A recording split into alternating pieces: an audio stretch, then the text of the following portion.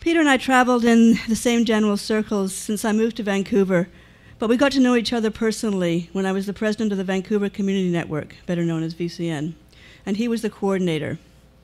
We had long conversations about our respective titles where we worked, me at PovNet and he at VCN. We were both adamant that we were not EDs, executive directors, and I'm not sure he ever quite forgave me when I had to change my title to executive coordinator to distinguish my job from my coworkers. As we met regularly about VCN's work, I began to realize what an important person he was in the community networking movement.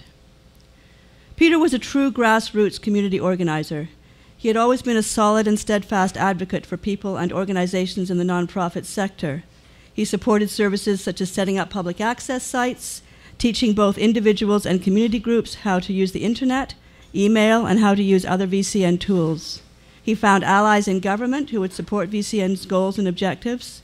He also fostered partnerships with municipal governments, public libraries, and other community supporters of VCN's vision. He worked with like minded people in the BC Community Network Association across the province.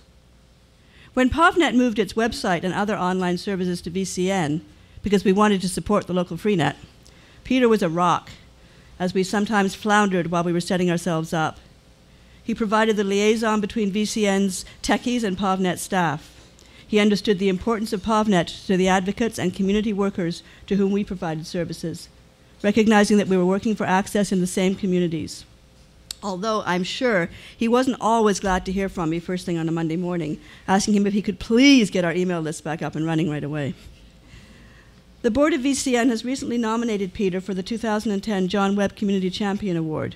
The award is to honor people who share the same values and determination that John had when it came to community networking. John always stood up for the underdog and looked for common sense solutions that are needed when working with computers. Peter walked that talk. He was a patient and thorough teacher. He was always able to explain technology in lay language to people who didn't know the jargon. I continued to benefit from those skills until he died. When I was off from work last year, he was an invaluable ear as I talked about the book I'm writing about PovNet, struggles with funders, and how to report to yet another board of directors. He always had good advice, and, was, and I was always sorry if I didn't follow it.